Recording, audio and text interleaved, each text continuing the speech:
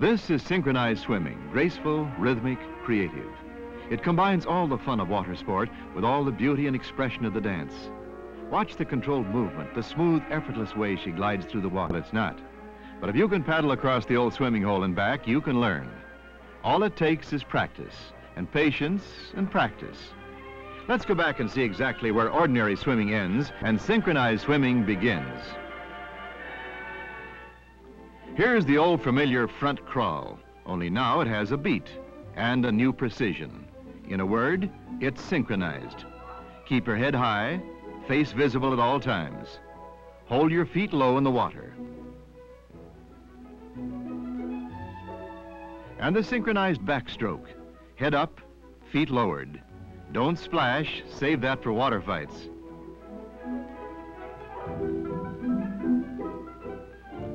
The breaststroke is a good stroke for adding variety to synchronized routines. It's relaxed and graceful. Remember, head above water at all times.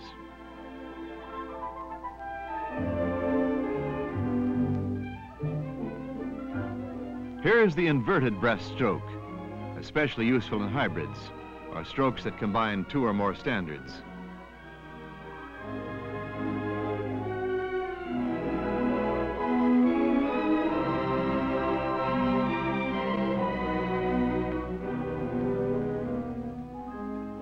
The delicate side stroke has a new flair, and so does the overarm side stroke. As you've seen, no basic changes have been made to any of the strokes, except for keeping the head held high and the feet low. They are simply good, basic swimming strokes at a slower, synchronized pace. No, we're not playing hooky, at least not without a purpose. This lazy figure eight motion describes one of the most important techniques of synchronized swimming, the art of sculling. Sculling is simply a means of getting around a pool with the least visible effort and with a maximum of grace. Here's how it looks in the water. This is called head-first sculling because you're moving head-first. The figure eight motion is rapid, but smooth and continuous. Keep your head high, feet just below water surface.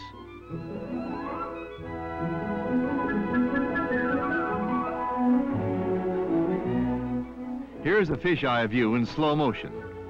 See how the fingers point upward. Propeller sculling is just that. Hands overhead act as propellers. The same rapid figure eight motion, only now the fingers point toward the pool bottom.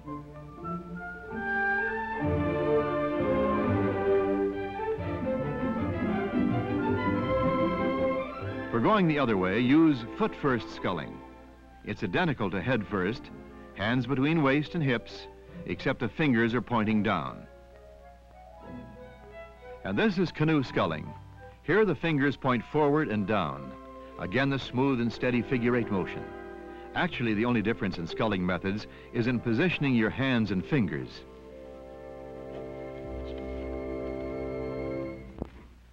A student of synchronized swimming must learn many stunts, for stunts provide the basis of all choreography in competitive synchronized swimming.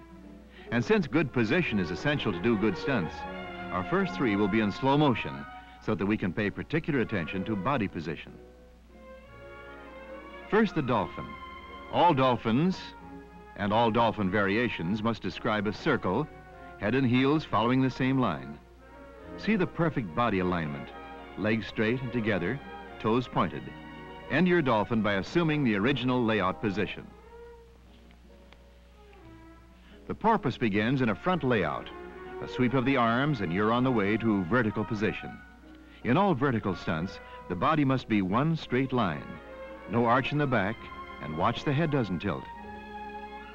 The back tuck somersault shows correct position for all tuck somersaults. Sit on your heels and touch your nose with your knees. Keep the tuck tight throughout. Uh, this position is also very good for sleeping in a small bed.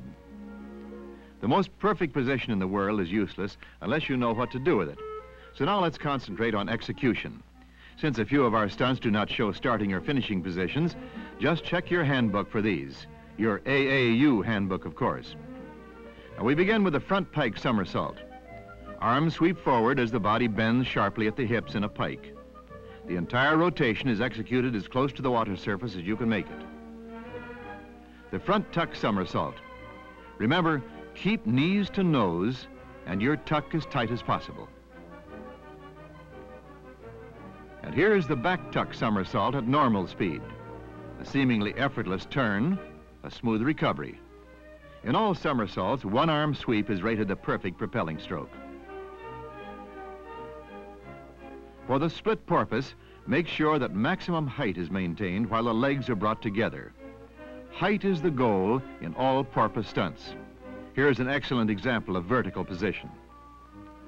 From a side layout, arm extended, make one complete body revolution for the corkscrew. Champagne, anyone? The tub is a variation of the tuck. Keep the lower part of your legs on the water surface. Revolve at least once in a horizontal plane by sculling. It's a great way for getting around corners. Have an oyster? Hips bend sharply, fingers touch toes, and plop. If you get short of breath during a routine, simply execute a marlin. One complete revolution constitutes a marlin turn. It's also very handy for position changes.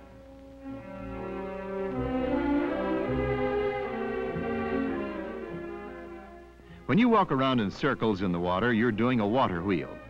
Keep your head as pivot point.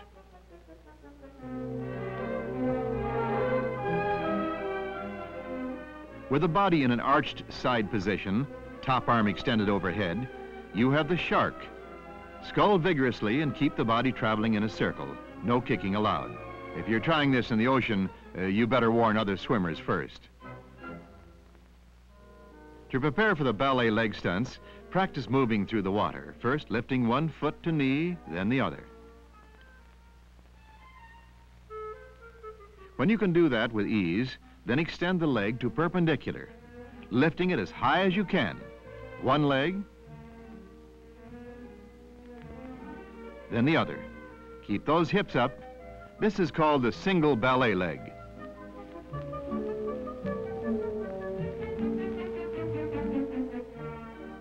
The ballet leg submarine is merely a continuation of the ballet leg. Drop beneath the surface, keeping a 90 degree angle between leg and back, then return. What sailor wouldn't love sighting this periscope? Now let's branch out and try a few variations. The flying dolphin starts with a push-off from the pool bottom. Drive out of the water, arch the back into a regular dolphin.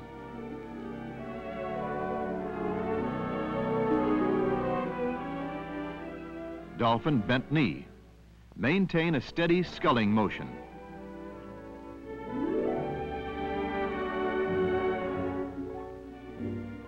This is the dolphin ballet leg. Feet come together just before you submerge, then execute a regular dolphin. Head aligned, back arched, and a smooth, even circle.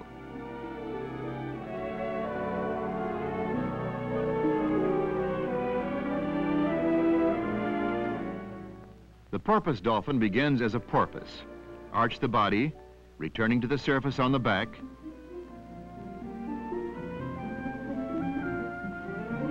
then into a dolphin, and finish in a layout position on the face. The front flip also begins as a porpoise. Throw the feet across the water surface, propeller sculling up and finishing on the back.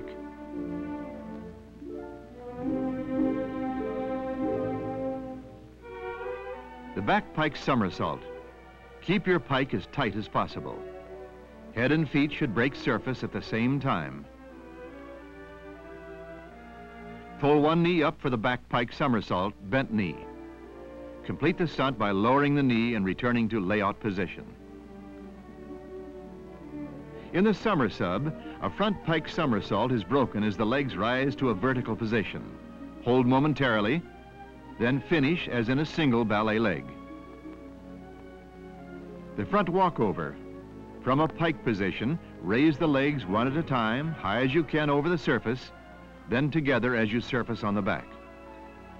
Go into a tight dolphin for a back walkover, then raise the legs high one at a time. Keep your circle as small as possible, hips high. Remember, all the stunts you've seen require practice, diligent, constant practice. for only practice makes perfect synchronized swimming.